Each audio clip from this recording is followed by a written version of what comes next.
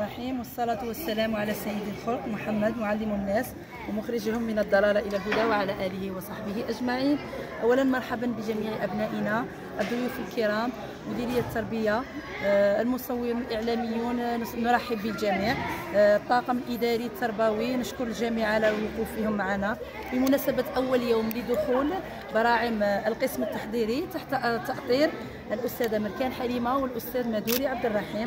قمنا بهذه المبادرة الصغيرة وهذا الاحتفال البسيط آه، وهذا للتفكير دائما في نفسية الطفل خاصة وأنهم صغار وأول يوم لهم في المدرسة يكون عندهم خوف ورهبة فنحن أسرتهم الثانية ونكون دائما حريصين على أن تجري الأمور في أحسن ما يرام. كما وفرنا لهم جميع الإمكانيات من أجل دخول موفق إن شاء الله. مدرسة بوشيخي قويدر لدينا قسمين تحضيري 25 تلميذ 25 تلميذ بمجموع 50 تلميذ. شكرا بارك الله